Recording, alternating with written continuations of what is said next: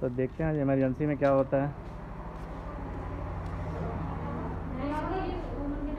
Emergency में आज poison patient का ट्रीटमेंट किया जा रहा है तो इस तरह से मतलब हम्म, ट्रीटमेंट किया जाता है Thank you.